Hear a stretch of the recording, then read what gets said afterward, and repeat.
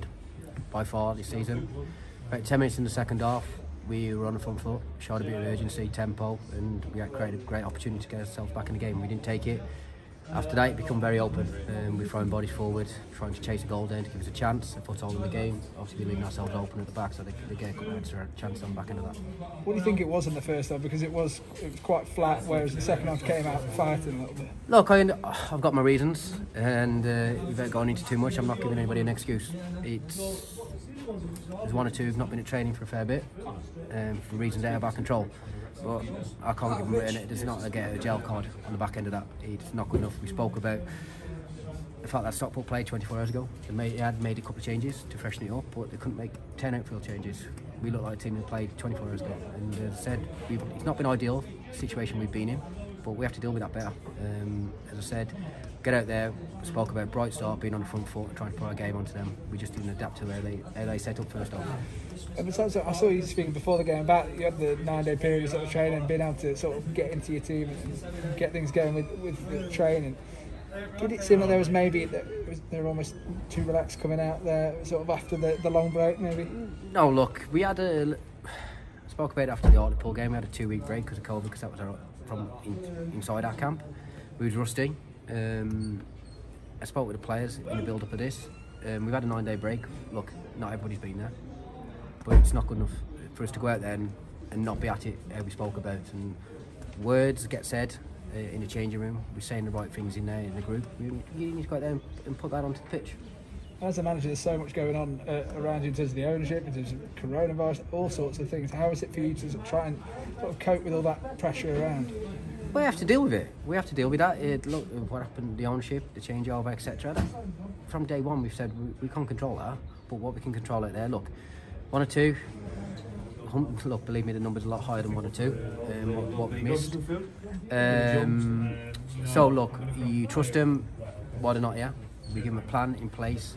while they're away from here and we can only do so much with the group, small group that we got. We, the numbers wasn't there. So look, there's no excuses. That's out there. Personal pride. Um, you need to go out there. You need to perform. What is the mood like with the with the players? No, it's sombre in there. It's very sombre, and so, so, it should be.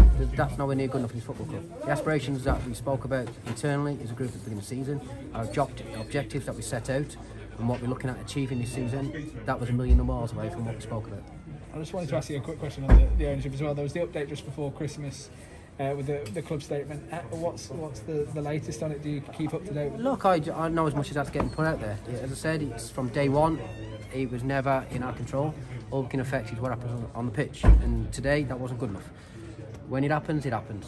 Um, as I said, short term, long term, mid, term for the football club, the community, the town going forward, forward is amazing.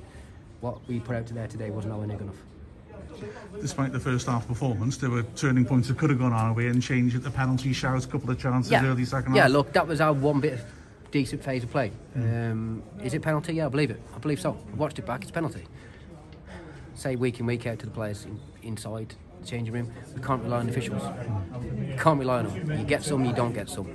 Okay, today that wasn't our decision. We didn't get the decision, the right decision. I feel that should have gone our way, and it gives us a bit of a chance, the momentum going into half time after what was a disastrous start asked questioned the urgency, the tempo, etc. For from the first half to go into second. I thought first ten minutes we came out and we showed something about us, and we've created a great opportunity. And look, we've not the target. It's, it's not good enough. I thought the second half was better though in terms of we were closing them down quicker.